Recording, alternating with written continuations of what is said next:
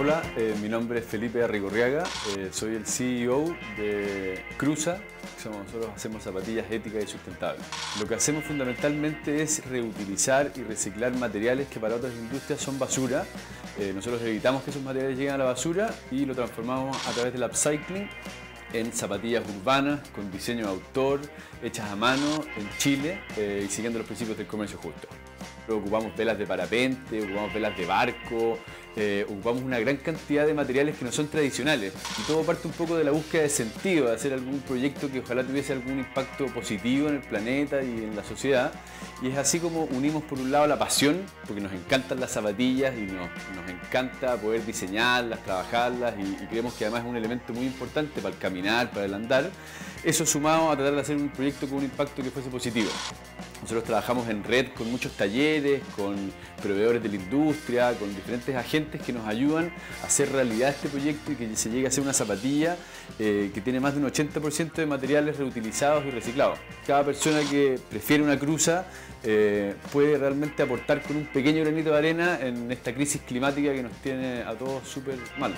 La verdad es que somos tres socios y partimos poniendo un poco nuestros ahorros en, el proyecto.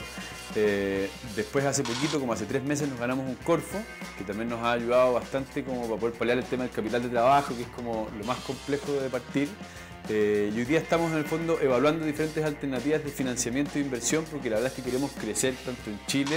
creemos que es un producto súper exportable también, entonces queremos también vender este producto en otras partes del mundo y para eso estamos buscando socios estratégicos. El Banco BCI ha sido súper importante para nosotros porque se acercaron, vieron nuestro proyecto que tenía un impacto ecosocial súper importante eh, y les pareció que podíamos hacer un muy buen match con el banco. Entonces nos acercamos a ellos y, la verdad es que nos han ayudado mucho en términos de darnos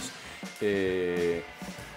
presentarnos un ecosistema que hay alrededor del emprendimiento, ya sea con aceleradores de, inversión, con otros emprendedores que también están en el centro NACE, eh, la gente del banco ha sido súper buena onda también, entonces la verdad es que yo creo que nos han ayudado como a tratar de, insertarnos un poco en este ecosistema de innovación y emprendimiento. Todas las ideas que hoy día ven, uno ve que son muy grandes partieron desde chiquititas.